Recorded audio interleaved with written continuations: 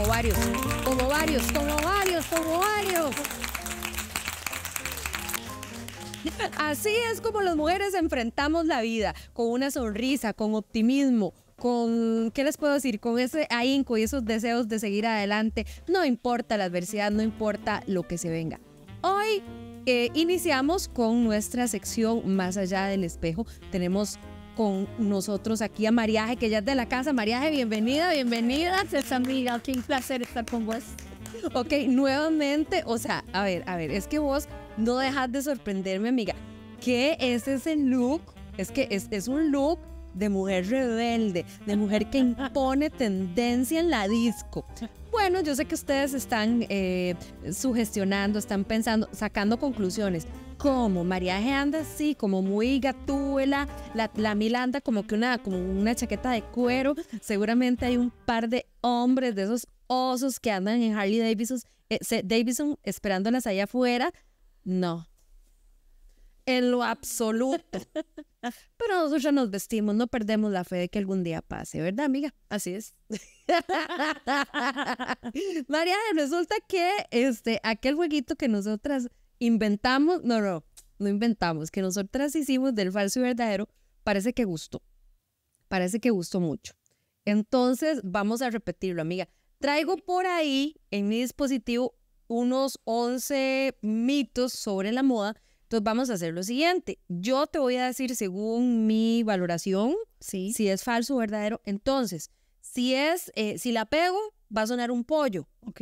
Y si eh, estoy errada, suena un chancho. ¿Está bien? ¿Perdón? ¿Ok? Bueno, entonces eh, agarres el chancho. Ahí, el suyo. No, el de Ule, mi chica. Ah, está ahí atrás. Vean. Ajá, es exactamente. Enséñalo a la cámara. Es porque hay mucha gente, ¿verdad?, que confunde. Y ahí mismo está el pollo. Entonces, eso. Eso, del muldito. Listo, Ah, ok. ok, ok, ok. Entonces, ya tenemos, es, vean, es que la producción se esmeró en traernos material de primerísimo, de primerísima calidad, ¿verdad? Entonces, que no se diga. Voy a traer por acá y vamos a empezar a jugar entonces, mariaje. Dale. Dice por acá. A ver, si es falso o verdadero según lo que Mila Montero piense, déjeme ver. Por acá, a ver quién me respondió Tinder. No, ok. Listo. Dice.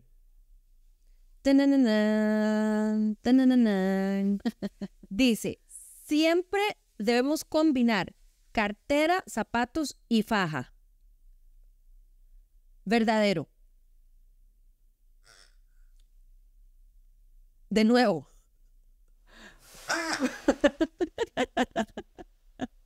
Pero que suene bien en serio. Diciendo, no.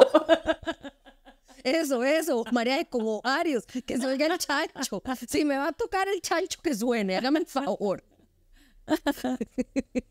ok, ¿por qué? ¿Por qué es falso? No, porque, bueno, eh, en el programa anterior habíamos estado hablando que después de la pandemia ha habido muchos cambios. Eh, en realidad, si vos ves, por ejemplo, en la serie eh, Sex and the City, ves a Jessica. Parker, ella usa mucho combinación, hay un estilo en el cual este, usan carteras de diseñadores, entonces se puede mezclar, eso se vale ahora y la gente se ve súper in, se ve muy, muy en tendencia, muy a la moda. Entonces ya no es aquello de que si el zapato es de color café, la cartera tiene que ser de color café, no, ya puedes combinar varios estilos y no hay problema con eso, te vas a ver increíblemente bien. Ok, está bien. Bueno, continuamos. Ah. Dice, mito número dos. A ver, tenga, tenga listo el, el pollo y el. Para- Exactamente. Ok, dice, el color del esmalte de uñas de las manos tiene que ser igual al de los pies. Uñas de las manos, los pies. Yo digo que sí, porque se vería rarísimo un color y, y otro en los pies. Yo digo que sí. Que dice que no.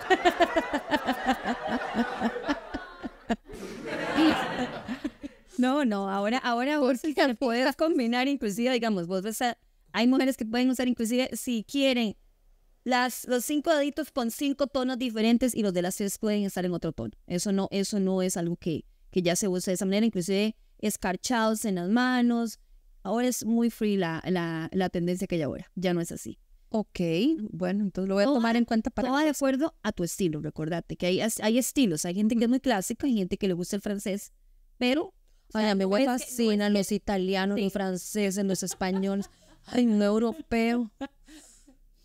¿Qué? Tóqueme el chancho.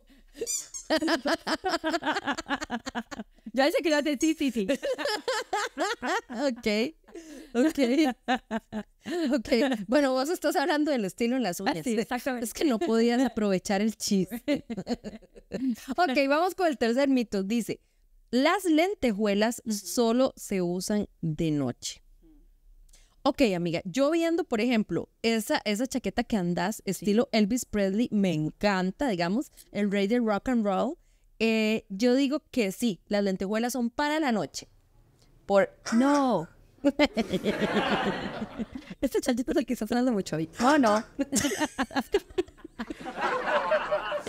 ¿Por qué no, no? No, porque ahora, por ejemplo, vos podrías usar, eh, puedes ponerte, por ejemplo, una enagua de lentejuelas y te puedes poner una, una camiseta de estas básicas encima y te vas a ver bien en la mañana. Y en la noche podrías este, ponértela, o por ejemplo, eh, estamos hablando de, de- de verano. En, la- en, en invierno podrías ponerte la- una enagua de lentejuelas con una suéter encima, básica, y te vas a ver bien. No es que ya no está totalmente restringido, es el, el, el brillo es solamente para la noche. No, ya no. Ay, qué interesante. Definitivamente no lo sabía, amiga. Ok, la ropa, este es el número cuatro, dice, la ropa siempre debe ir según mi talla. Di, yo digo que sí porque si no se ve uno como un, no sé, me parece como si anduviera con un saco de gangoche, digo yo. O sea, eh, te refieres a la ropa completamente como ajustada a tu cuerpo. O sea, lo que Sí, siempre tiene que ir a mi talla, no puedo utilizar algo que sea como más grande o más... Ah, no. Ah, no. Oye, ese chancho lo voy a hacer en tocino, te lo juro. Termina el programa y me lo como. Ahora está en tendencia lo que, eh, bueno, después de la pandemia vino esto y durante la pandemia se hizo lo que se llama la moda oversight. Entonces, eh, son suéteres grandes, eh, en lo que se llama esos jogger anchos, eh, eso está muy en tendencia y, y la gente lo utiliza mucho. No tienes que andar necesariamente fruncida para verte bien. No. Ok, bueno, yo andaba fruncida, pero por eso. A veces que uno le cae mal una comida o algo así. Ok, vea, amiga, nos quedan cinco mitos más. Vamos, tú puedes. Sí, sí, sí, sí. Pero tenemos obviamente que ir a una pausa con este, la publicidad, pero ya casi regresamos, amiga, porque yo prometo pulirme. Sí, sí, Quiero más pollo en mi vida que chancho, ¿ok? Entonces definitivamente quiero que me suenen el pollo. Por favor, ya casi volvemos.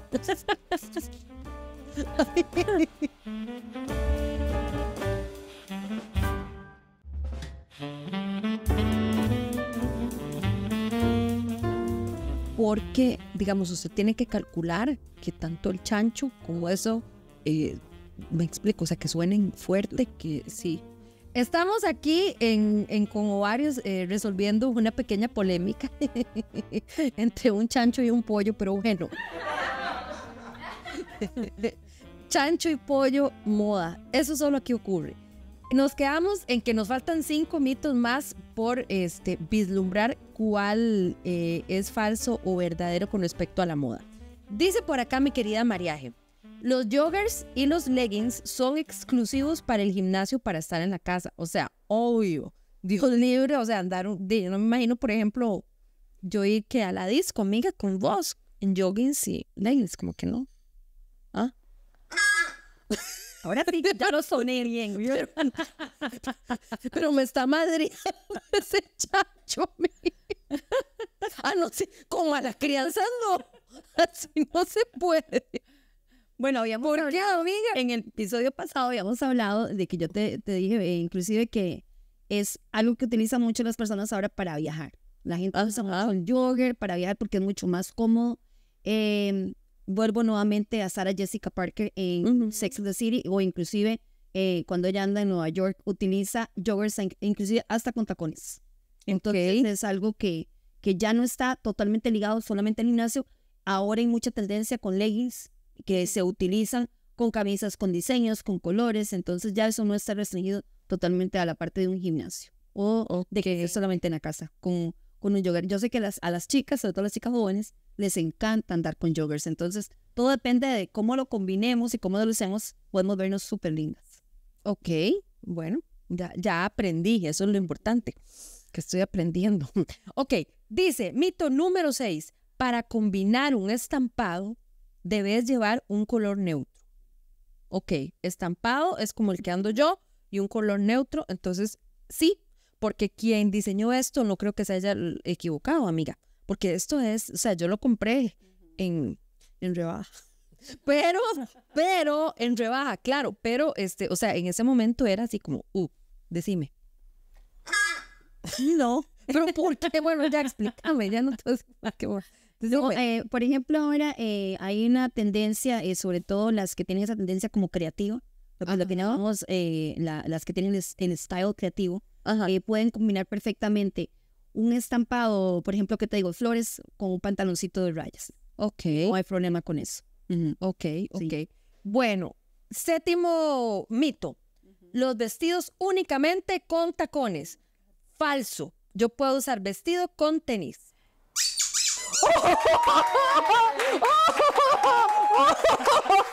Vamos a hacer el baile del pollo. Voy a inventar un baile del pollo porque qué felicidad. Sí, entonces, amiga, claro No, y eso es parte, digamos, de lo que quedó eh, de, parte de la pandemia, que nos acostumbramos a estar muy relajadas en la casa. Entonces, vos podés irte, eh, eso lo ves mucho, eh, hay gente que sale, a, por ejemplo, a una disco y se pone un vestido y unas tenis para sentirse relajada y cómoda en el lugar que está. Y sí, se, se vale y está muy, muy en tendencia en este momento eso. Ok. Dice por acá, los blazers son solamente para ambientes formales. No, yo he utilizado un blazer con short en un sueño que tuve hace como dos días porque a mí no me queda bien el short, amiga. Bueno, no me gusta cómo se me ve, pero yo digo que sí, puedes usar un blazer y un short. De hecho, ya lo he visto. Entonces, tócame el pollo. Me gané el pollo. Hoy tenemos que buscar un patrocinador de pollo frito. claro que sí lo puedes usar, eso es lo que llamamos el, el street style, que está muy, en tendencia también. Entonces, eh, vos ves, sí, gente combinando un chorcito con un, con un este, saco y se ven preciosas, se ven increíblemente lindo. Ok. No sé ustedes, chiquillas, pero yo aprendí montones. No le tengan miedo a que le toquen los chanchos a ustedes. Para nada. Si es parte del aprendizaje como hoy lo vivimos, no tiene nada de malo. Así que vamos a continuar acá en Con Ovarios, su espacio femenino. ¿Qué cólera me dio? O sea, que más que los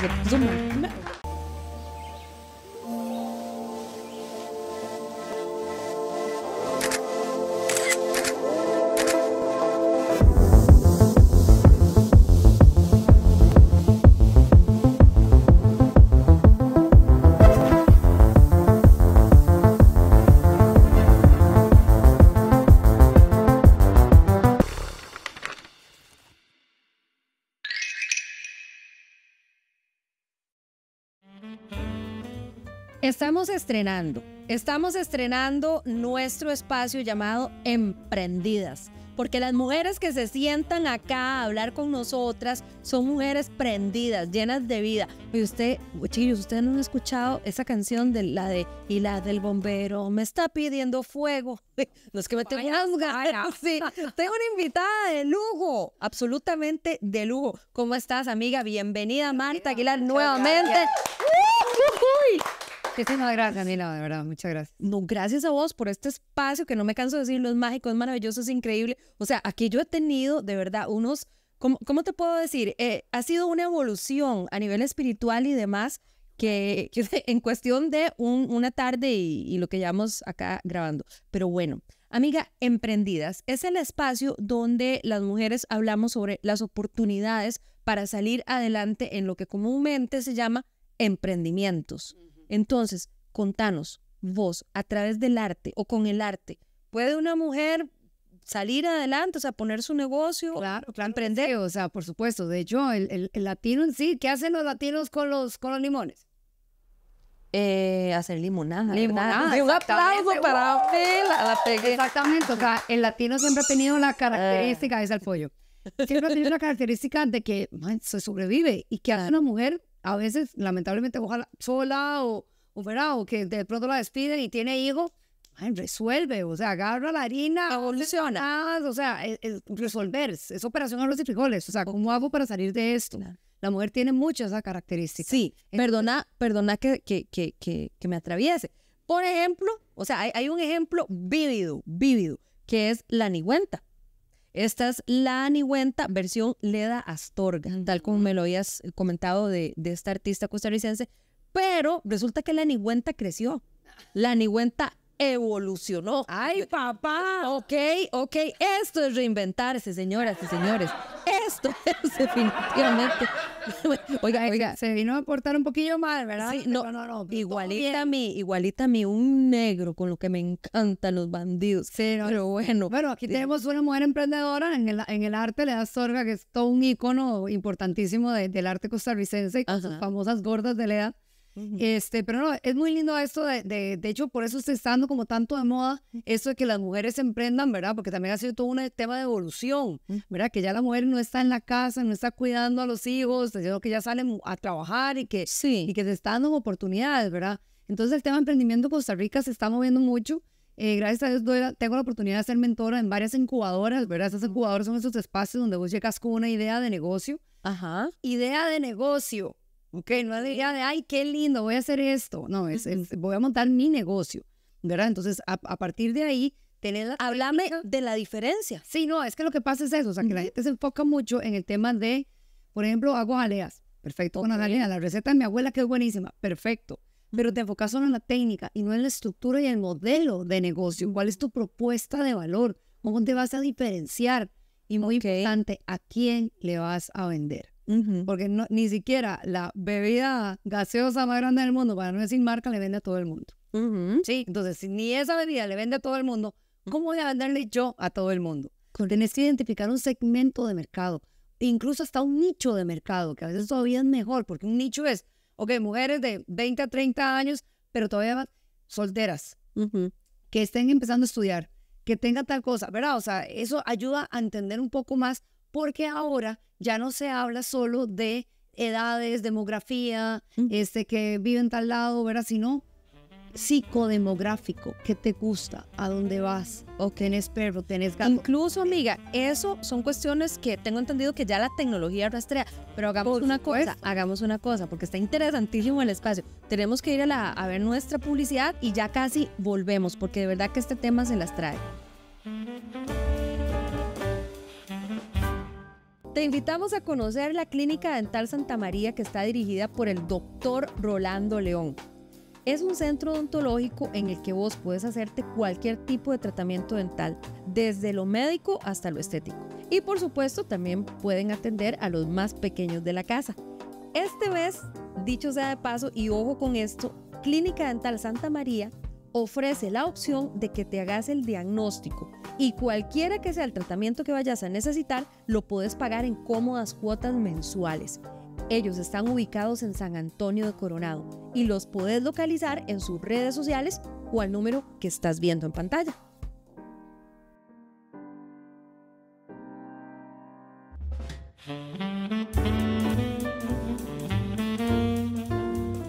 Emprendedoras. ¿Qué es ser emprendedora?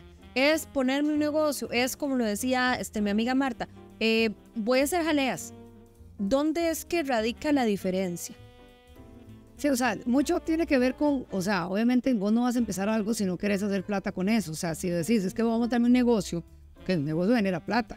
Tengo un hobby, voy a hacer jaleas para regalárselo a mis vecinas, eso es un hobby. Ok. ¿verdad? O sea, pero entonces, cuando tomamos la decisión de empezar a montar un negocio, es que quiero vivir de esto y necesita que darme plata, resultados, ¿verdad? O sea, da- darle, este, dile, el, el- que me sobra la plata para poder hacer también mis, mis, mis, mis gastos personales. Entonces es muy importante también la estructura de costos, que ese es otro problema. Volvamos al ejemplo de las jaleas. Cuando se hace la estructura de costos es el envase, la jalea, el poquito de azúcar, el agua, el- Correcto. Ok, ya eso es lo que me costó. Entonces ahí eh, le va a meter un 20% de ganancia y ya está. Ujú. Pero no válidas que tenés que la licuadora, la luz, el dónde estás. Es que yo tengo mi negocio en la casa, yo no pago impuestos. Sí, pero no, no pagas alquiler, no pagas impuestos de, de territorial. Nada, ¿me entiendes? Todos esos son gastos hormiga, que es lo que realmente afecta en los emprendimientos. Por eso cuando dicen que en cinco años un negocio quiebra. ¿Por qué? Porque no se planifica el valor real de esa producción. ¿Verdad? Entonces a mí me dice, Marta, pero es que si le pongo, si vendo el, el queque en los 30 mil, 50 mil pesos que costeamos, nadie me lo va a comprar. Como yo les digo, es que me sale más barato que vea la novela. ¿Por Claro. qué? Porque te estás autorrobando. Porque te estás vendiendo un queque en 30 mil pesos donde realmente vale 50. Ujú. Entonces realmente no estás viendo la plata. Te estás estafando a vos misma, ¿verdad? Entonces, por eso es muy importante. O sea, yo los invito de verdad a que estudiemos, aprendamos. Hay muchos videos en, en redes sociales. El Ajá. gobierno tiene sus cosas para no enfocarme solo en la técnica, ¿verdad? Porque ah, yo entro a redes sociales y me pongo a ver recetas porque quiero innovar Ajá. las recetas y todo. Pero también es muy importante entender Perdón, la parte administrativa. Vos me diste un ejemplo, me hablaste de esculturas de chocolate. ¿Qué? ¿Cómo? ¿Esculturas de Sí, chocolate? es que venimos también un poco ahí con, con, con varios proyectos acá desde la Casa Roosevelt que, que estamos haciendo simposios de arte comestible para también sacar al artista de la parte tradicional y académica, Mm. o sea, ¿verdad? Porque incluso arte es solo la, bueno, escultura, por ejemplo, solo que la madera, que el mármol, no sé qué. Víctor, mi socio, el de, el de los payasos que en algún momento vieron, Ajá. papel. Incluso él ganó una bienal que ni siquiera se consideraba arte ni escultura y mucho menos ganar, porque el papel no es un material de esculpir. Entonces se están rompiendo las cosas y así debería seguir haciendo, porque estamos hablando de innovación, tienes que Ajá. estar creativo en tus, en tus estructuras. Pero, o sea, no puedes decir, es que siempre ha funcionado así, el siempre no existe. O sea, la- las cosas van cambiando demasiadas, demasiadas veces. Yo creo que hablabas de moda con la pandemia y todo, eso todavía se potenció más. Entonces yo necesito parar la máquina y sentarme a pensar. Pero igual, yo sé que a veces pensar solo cuesta mucho, Mm. pero por eso hay programas, hay mentores, hay acompañamientos, ¿verdad? Incluso en mentoría a veces me dicen, "Es que estar con usted es como estar con el psicólogo, ¿verdad? Porque yo nos sentamos a pensar cómo vender tu negocio, Ujú. cómo te vas a diferenciar. ¿verdad? Vos, vos me hablabas, nosotros vendemos café, Sí. o sea, nosotros vendemos café, pero ¿cuál es nuestro valor con el café? Correcto. Tiene arte. La gente no compra una bolsa de café. Y vos me decías Sé para tenerlo en la casa. algo interesantísimo. Me hablaste Sabía. Ah, totalmente, totalmente, amiga. Eh, vos me hablabas de la creatividad que hay que Claro. ponerle. Muchas veces, a mí me pasa también, que tengo alumnas en diferentes, eh, ¿qué te puedo decir? Talleres y demás que yo imparto, que me dicen, mira, ¿cómo hago para, para ser creativa? Nacemos creativos. Claro que sí. El sistema, a ver, este, el proceso de socialización hace que vayamos perdiendo conforme crecemos. Necesitamos que eso, oh, necesitamos mano de obra barata. Claro. Necesitamos que pensé. Entonces, por ejemplo, ¿qué digo yo en mis clases? Chiquillas, chiquillos, ustedes quieren retomar el tema de la creatividad, muy fácil, empiecen a hacer las cosas diferentes, porque eso hace que tu cerebro empiece a buscar diferentes caminos, ya llamando, eh, ya hablando, digamos, un poco más técnicamente, eh, ¿qué te puedo decir? Estímulos eléctricos, eh, neuronales, donde eso hace, da apertura al cerebro para que se le ocurran diferentes formas de solucionar un mismo problema. Entonces, yo de mi parte siempre les doy ese consejo, ¿verdad? Hagan las cosas diferentes, como que pónganse los zapatos al revés, duerman al revés, de veras, esos pequeños la cambios. La rutina es lo que mata la creatividad. Porque el cerebro es muy vago. El cerebro necesita gastar lo menos energía posible. Entonces, por eso es que hacemos el piloto automático. Por eso, cuando empezamos a manejar, todo es el caos, pero ya después, cuando ya estás en todas mandando mensajes, te maquillas, hablas por teléfono, te, ¿verdad? Porque ya lo tenés en automático. Entonces, lo primero es eso, ver cómo rompemos la rutina. Y hay muchos libros, muchos ejercicios de creatividad. O sea, así como buscamos en redes sociales cómo bajar la panza o cómo hacer Sí. una receta, podemos buscar ejercicios de creatividad y eso incorporarlo a nuestros negocios. ¿verdad? Porque la gente busca eso, diferente, la experiencia. ¿verdad? Entonces, ¿cómo vas a lograr vender algo si te ves igual?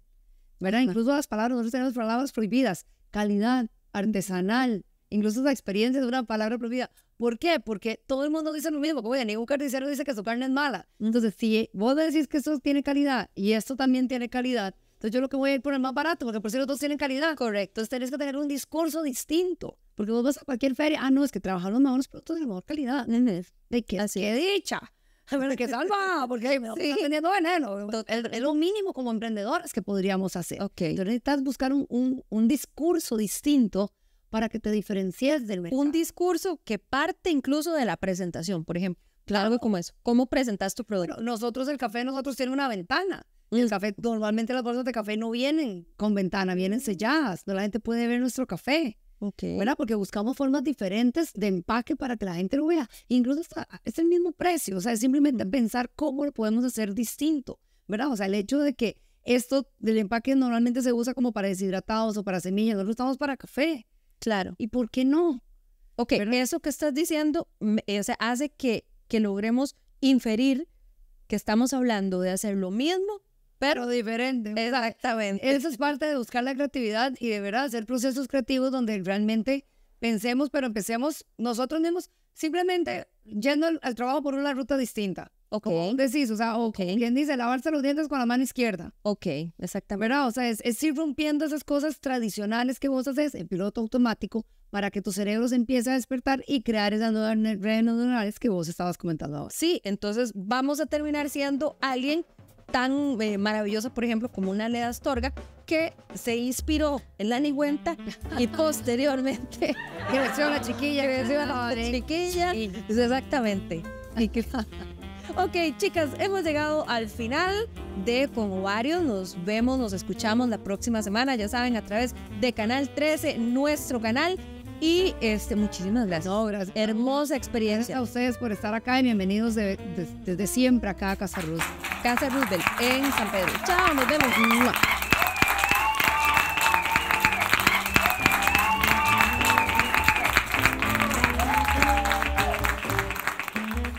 Pollo, pollo, pollo, pollo, chancho, chancho, chancho. Ok, voy a leer entonces la...